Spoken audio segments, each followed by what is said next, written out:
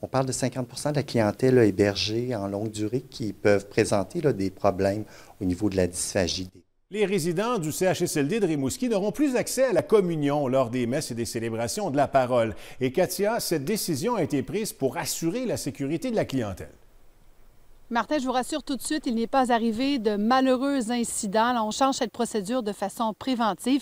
Mais vous l'avez entendu, là, 50% des résidents en soins longue durée présentent des risques de dysphagie, donc d'étouffement, des problèmes de déglutition. Alors, à partir du 16 février, on va changer les méthodes pour la, la, messe et les célébrations de la parole.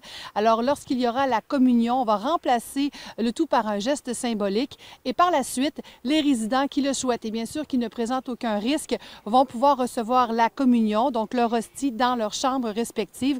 Il faut comprendre qu'à Rimouski, au foyer, il y a 225 résidents. Donc, c'est impossible pour les intervenants spirituels de savoir qui, euh, dans la foule qui assiste à la messe, représente un risque. Et Martin, cette décision a été prise par plusieurs intervenants. On a toujours cette préoccupation-là. Ça fait partie de notre quotidien, la gestion des risques, hein, de plus en plus.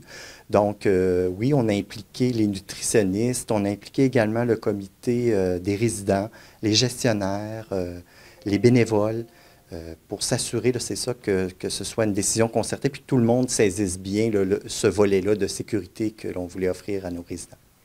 Bon, maintenant, Katia, est-ce que d'autres établissements ont reçu cette même directive? Martin, le ministère de la Santé confirme qu'il ne s'agit pas d'une directive ministérielle. Au CI3S du Bassin-Laurent, on nous explique que chaque milieu de vie prend sa propre direction, directive en fait.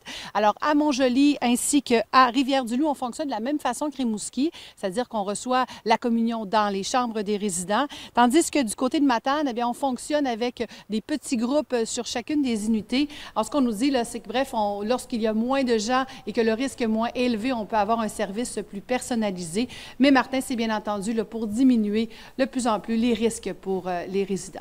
Merci, Katia.